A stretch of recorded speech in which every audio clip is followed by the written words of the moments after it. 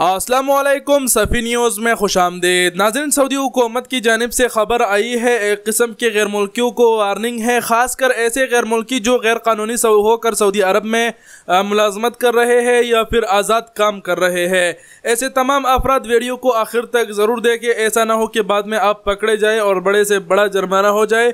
बाद में पछतावे से अच्छा है, अभी से ही आप वीडियो देख लो।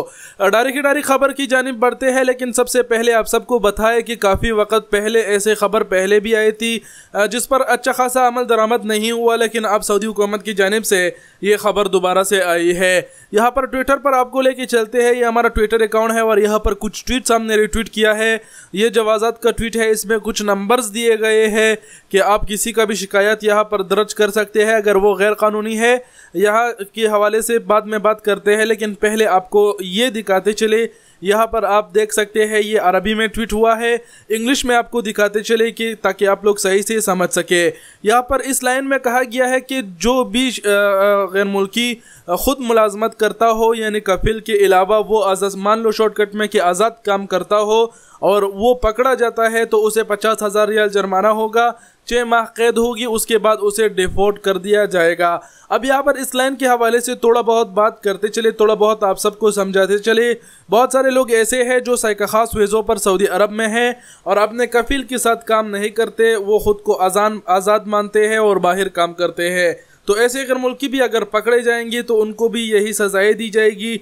इसलिए मोहतात रहना चाहिए आप सबको। इसके अलावा जो सऊदी अरब है, उसमें अब आज़ाद वीज़े नहीं रहे।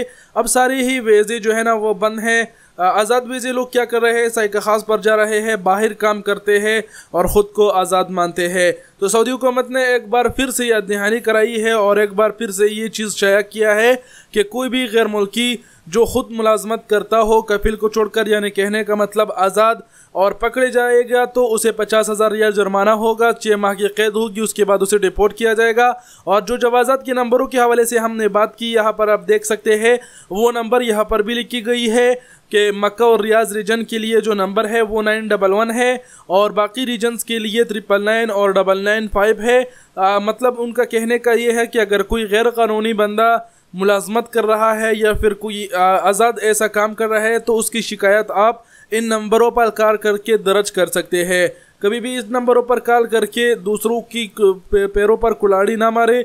लेकिन जो ख़बर था वो आपके साथ शेयर कर दिया हमने। यही खबर सऊदी हुकूमत की जानब से आज आई है कि आज़ाद काम करने वालों को ये सज़ाएँ दी जाएगी। उम्मीद करते हैं आप लोग समझ गए होंगे। इसमें और कुछ बोलने की ज़रूरत नहीं। अपना ज़्यादा से ज़्यादा ख्याल रखिएगा और वीडियो देखने का बहुत बहुत शुक्रिया। अपना बहुत सारा ख्याल रखिएगा। अल्लाह हाफिज़।